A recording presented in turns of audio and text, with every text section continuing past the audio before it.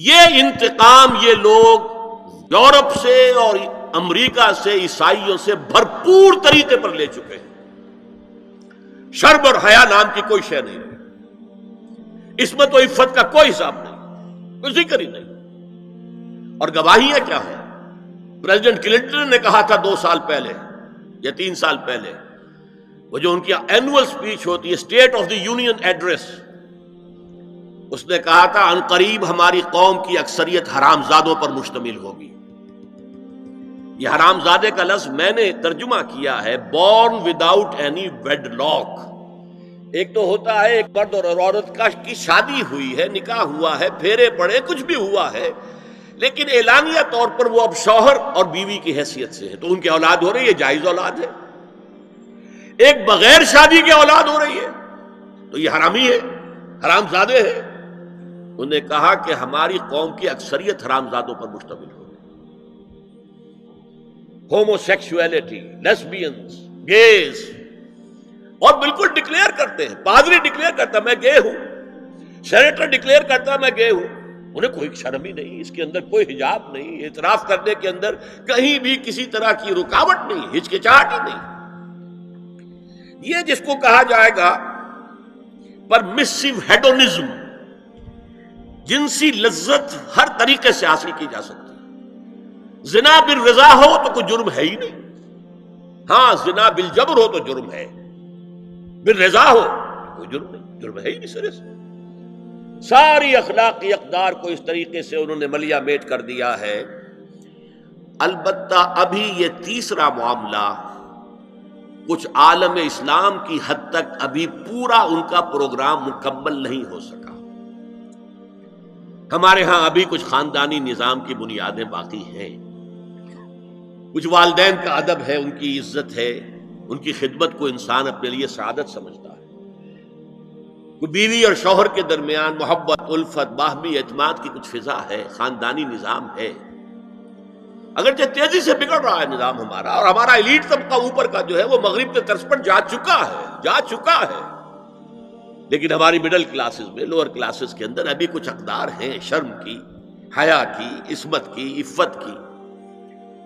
आप पूरा जोरदार तरीके पर मुहिम चला रहे हैं कि मुसलमान ममालिक से भी ये सारी अकदार खत्म कर दी जाए। चुनाचे नोट कीजिए, पुराने मजीद में दो जगह पर अल्लाह ताला ने अहले मक्का को वार्न किया था। अवलम यरो क्या ये कुरैश देख नहीं रहे कि हम रफ्ता रफ्ता उनकी तरफ़ बढ़ रहे हैं चारों तरफ़ से? उनके गिर्द हमारा घेरा तंग होता जा रहा है। इनके गिर्द जो कबाइल आबाद है, वो हमारे हलीफ बनते जा रहे हैं।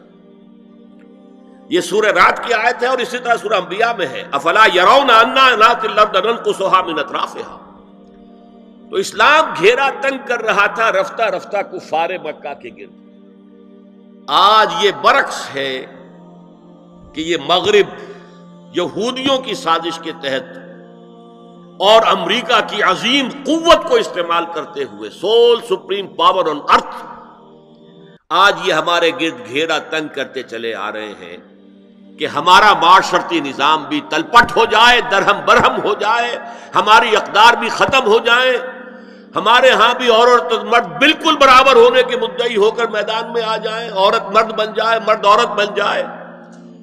मर्दों की शादियाँ हो जाए कि एक मर्द शौहर और एक मर्द बीवी और रजिस्टर हो जाए शादी। लेस्बियंस की शादियाँ हो जाए कि एक औरत शौहर, एक औरत बीवी और रजिस्टर हो जाए शादी। ये सारा काम नातिल अर्द नन को सुहा मिलत राफिहा, उसकी मिसाल क्या है? कि पहले इस प्रोग्राम के तहत उन्नीस सौ चौरानवे में कॉन्फ्रेंस हुई, काहिरा में। अरब वर्ल्ड का वो मरकज है। इसलिए कि अरबों में तालीम के एतबार से टेक्नोलॉजी के एतबार से सबसे आगे मिस्री है। तो ये चूँकि उनका सकाफती एतबार से इमाम है, वहाँ जाकर उन्होंने डेरा लगाया और इन अफकार की और इन नजरियात का प्रचार का मामला किया। दूसरी एक साल के बाद कॉन्फ्रेंस कर दी बेजिंग में ताकि उधर से और एक और तरफ़ से घेरा डाला जाए और आलम इस्लाम का जो ये हिस्सा है एशिया का, इसके ऊपर असरअंदाज हुआ जाए। और उसके बाद बेजिंग प्लस फाइव कॉन्फ्रेंस हुई है और ये हुई है united nation assembly united nation organization की जनरल असेंबली के तहत। और यह हुई है जून सन 2000 अब इसमें जो भी एक पर्चा तैयार किया गया था, एजेंडे के तौर पर, उसमें जो सिफारिशात थी, वो मैं आपको बता रहा हूँ। इंपैक्ट एक रिसाला निकलता है लंदन से, उससे मैंने ये चीज़ें ली थी। और अंग्रेज़ी ही में हमने एक दफ़ा बड़ी तादाद में इसको शाये करके तकसीम भी किया था। लेकिन इस वक्त मैं सिर्फ़ आपको ये बता रहा हूँ क्या फैसले थे? क्या करना है? नाम उसका क्या था? कॉन्फ्रेंस का। Women 2000 gender equality development and peace for the twenty first century preparatory document में नंबर एक होमोसेक्सुअलिटी को नॉर्मल सेक्सुअल ओरिएंटेशन करार दिया जाए। कोई जुर्म नहीं है। मर्द मर्द से शहवत रानी करे। अमल कौम लूत, ये कोई जुर्म नहीं, कोई हराम नहीं, कोई बुरी शय नहीं, नॉर्मल ओरिएंटेशन है, ये मिजाज है। एक शख्स जो है औरत से अपनी ख्वाहिश पूरी करना चाहता है, एक मर्द से करना चाहता है, तुम्हें क्या एतराज़ है होमोसेक्सुअल मैरिजेस को तस्लीम किया जाए, जो अब तस्लीम हो रहा है। यूरोप की कई रियासतों में रजिस्ट्रेशन शुरू हो चुकी है, अमेरिका की। यूरोप में तो पहले से है मुल्कों में पहले से मौजूद है। नंबर तीन, औरतें घर का काम काज करने से इनकार कर दें। या उस पर वेज तलब करें। मजदूरी दो हमें मेहनत दो तब हम काम करेंगे। ये चूल्हा झोंकना, ये रोटी पकाना, बर्तन धोना, ये इसके लिए हमें उजरत चाहिए, लेबर चाहिए नंबर चार, औरतें हमल और वज हमल की जो तकलीफ़ बर्दाश्त करें, उस पर भी शौहर से उजरत लें। नंबर पाँच, अगर किसी वक्त किसी औरत की तबीयत आमादा ना हो हम बिस्तरी के लिए और शौहर मजबूर करे तो इसे मैरिटल रेप करार दिया जाए। यह जिना बिल जबर होगा जिसकी सदा दी गई। शौहर और बीवी का मामला है। वो बीवी की तबीयत किसी वजह से आबादा नहीं है और शौहर इंसिस्ट कर रहा है तो ये मैरिटल रेप, शादीशुदा रेप शादीशुदा लोगों के बाबैन जिना बिल जबर शुमार होगा। नंबर छ प्रोस्टिट्यूशन को एक बाइज्जत पेशा माना जाए और उनको प्रोस्टिट्यूट्स ना कहा जाए, बल्कि सेक्स वर्कर्स, सेक्सुअल वर्कर्स, जैसे मर्द है वो अपनी जिस्मानी कुत इस्तेमाल कर रहा है, वो अब चला रहा है, कस्सी चला रहा है, या वो कहीं ईटे ढो रहा है, या कोई और दिमागी सेहत इस्तेमाल कर रहा है, डॉक्टर बैठा है, उसने लिख रहा है, फ़ीस ले रहा है। औरत भी अपने जिस्म के एक उजुव को इस्तेमाल कर रही है तो वो सेक्सुअल वर्कर है, और वो पेशा है, और वो बाइज्जत है, उस पर कत्ल कोई कदर न हो। साथ, विरासत और तलाक में बिल्कुल बराबरी, कोई फ़र्क नहीं। अब यह खास चीज़ तो मालूम होता है कि इस्लाम ही को हदफ बनाकर इन्होंने एजेंडे में शामिल किया। इसका नाम है सोशल इंजीनियरिंग। माशरती तामीर नौ। पुरानी तामीर, वो जो मौलाना रूम ने कहा था कि अगर कोई पुरानी इमारत है, नई बनानी है तो पहले गिरानी पड़ेगी। अव्वला तामीरा वीरा कुनंद तो पहली तामीर गिराएँगे तो दूसरी बनेगी। लिहाजा ये सारा स्ट्रक्चर जो है सोशल ये खत्म करके ये नई सोशल इंजीनियरिंग है जो हमें करनी है और इसका सबसे बड़ा टारगेट आलम इस्लाम। अब इसमें दूसरी बात सुनिए।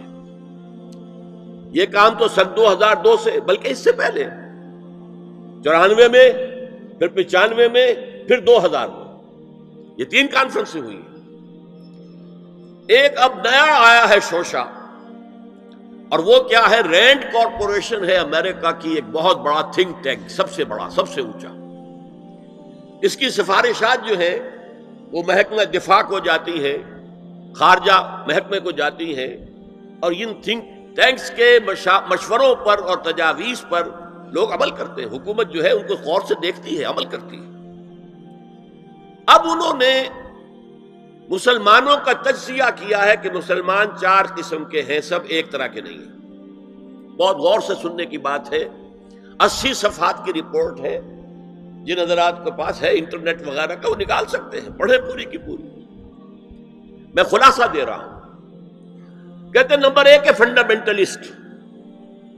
और फंडामेंटलिस्ट वो हैं कि जो इस्लाम को सिर्फ़ मज़हब नहीं, दीन समझते जो ये समझते हैं कि इस्लाम सिर्फ़ अकीदे, इबादत और रसूमात का नाम नहीं है, बल्कि इस्लाम एक पॉलिटिको सोशो इकोनॉमिक सिस्टम है, एक निज़ाम है, इज्तिमाही निज़ाम है।